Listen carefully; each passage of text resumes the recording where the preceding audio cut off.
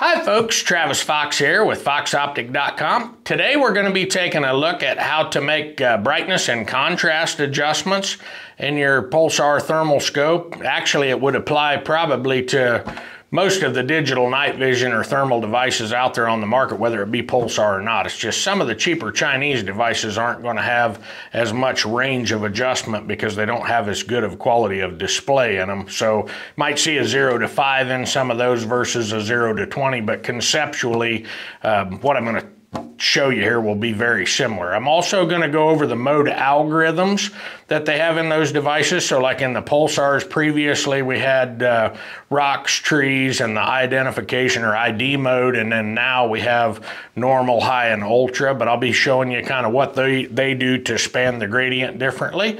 So let's jump out there in the field. We'll get a device set up and I'll show you how that works. I'll be right back with you. Okay, folks, we're gonna take a look. I've got a few deer out there, so we got something to look at as I'm explaining this. Hopefully they'll bear with us. I'm starting to get a little bit spooky. But uh, anyhow, I'm gonna go in and show you how this brightness and contrast works. So to get into the brightness and contrast, we're gonna short press on the side encoder button uh, one single short press to bring that quick menu up and then additional short presses to toggle between the items. So effectively, this is our brightness icon and this is our contrast. And these are the associated mode algorithms. So in this, in the mode algorithms, you have uh, normal, high, and ultra in the newer Pro devices. And the older devices, uh, effectively, I think Normal is kind of most similar to the rocks mode. Uh, high is most similar to trees mode. And ultra is most similar to the what they called the ID mode previously. So effectively, let's start with brightness and contrast. So brightness is adjusting the, the backlighting brightness of the LED. So essentially it's just adding or subtracting brightness throughout the entire image. So your whitest objects are, you know, they can't get any whiter than white, but as you add brightness, you can certainly add a lighting effect and start to wash some of the darker objects out. Whereas contrast is essentially adjusting the, diff the span between black and white that's making up that gradient. So, you know, as we're riching the contrast up, we're, we're scrunching those together and as we scrunch those together you know we start to crunch the black and the white to where we start to lose information if we get the contrast too rich and if we get it too lean then we start to wash out as well so the trick is finding the balance between those and essentially what's going to determine that is is the ambient condition that you're in. So in a brighter ambient condition, you know, in other words, you have brighter sunlight out there around the device, you're going to need to run that brightness a bit higher.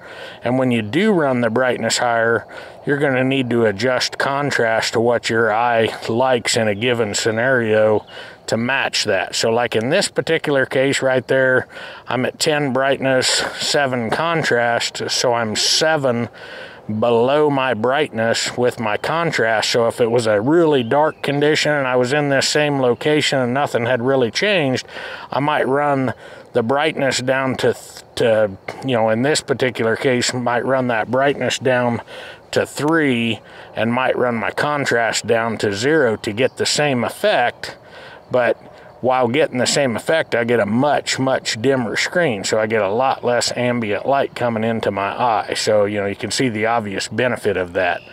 The mode algorithms are essentially adjusting the weighting between the, the, the gradient span. So in other words, when you're in the normal mode, what I would anticipate they're doing is, you know, if your hottest object, we'll give it a value of 100 and your coldest object a value of zero.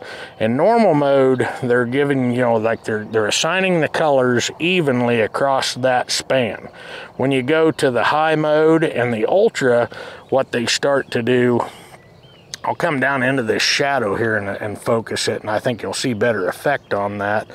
You know, what they're doing essentially is they're, they're starting to scrunch those gradients up. So like in this ultra mode, versus the normal mode. Let's say they're taking the top 20% of blacks and the and the you know the top 20% of whites in white hot and the bottom 20% of blacks in black hot, or excuse me, in, in the black color range, and they're just assigning them them all black or white and then adjusting the span in between so that you get a little bit more rich color at, at the ends of the spectra and a, and a little less transition through the middle. So you get a little bit more richness. And you say well where would that be beneficial in the case of ultra typically most beneficial if you're looking at something way out there up against a tree line and you don't need to see a lot of body side detail and you just want to see a, a, good rich silhouette that's unbroken against the background then by riching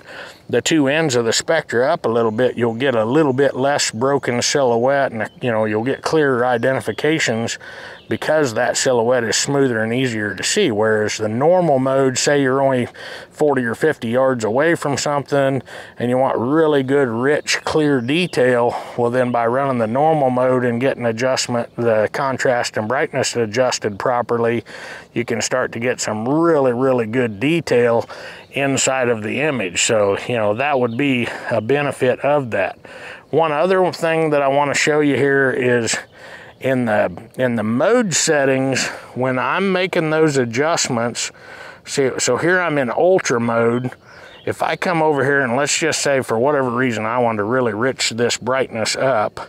Now if I come back in you know it'll stay there as long as I don't change those modes. But if I go in here and I change those modes to let's say normal and I come back to ultra, you can see where it went back to the default setting of nine on brightness and seven on contrast in that mode. And so that could be really handy if you don't understand how these work and you just want to kind of, you know, scroll through the three modes and see what effect it has on your image. Then sometimes, you know, if you don't understand how this works, then that could be a better way to make adjustments. Uh, but if you understand how it works and you want to be able to, to keep your own settings, then if you do a long press on the menu button, come down here into this user mode and turn that on, what you'll have the ability to do is now when I go in, so you can see again there where I'm on ultra, I'm gonna jack this up to 20 just to show you how it works.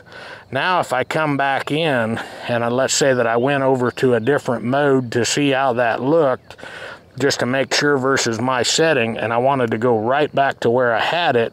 Now I have, you can see where I'm back at that 20 on Ultra. So I have independent control over each one of these uh, high, high, medium, or excuse me, normal, high, and ultra. Um, over the contrast and brightness settings for each one. But, you know, again, main thing here, I guess the main takeaway would be what I would recommend if you have any problem with this at all, start with your start with your brightness at a mid-range you know, and or if you're in the, you know, if you're in bright sunlight, obviously you might just have to jack it all the way up and then adjust contrast to get the image where you need it to be. Just be aware that if you get one too high and you need the other one below it, so, so say for example, you get your brightness, uh, you know, all the way up to 20 and you need to go higher with contrast, you're kind of setting the ceiling at that 20. So, so try not to go all the way to the maximum of the range in case when you're trying to view things, you know, you need the, you need some of that scale left. Same way where that actually become more apparent is on the bottom at night. You know, you're tempted to just run your brightness all the way down to zero. And then if you need your contrast to be a few numbers underneath of your brightness, essentially you've already set the floor and you can't get below that. So you, you might actually have to bring that brightness up a little bit once you bottom out on contrast to get the balance that you're looking for because that's essentially what you're looking for more than anything is just a balance there that your eye likes and that becomes kind of the issue with why there aren't really any magic numbers because each one of our eyes uh, is able to, you know, to adjust to that brightness differently. And so it truly is one of them things where individually different people are going to have different preferences in certain scenarios. But I hope that makes uh, you know makes some sense to you, makes this a little less confusing. If you have any questions, just be aware that you can call me anytime. Toll free 877 806 2977, or you can check any of these devices out. Obviously, we have them all for sale on our website, www.foxoptic.com. Thanks for watching and have a great day.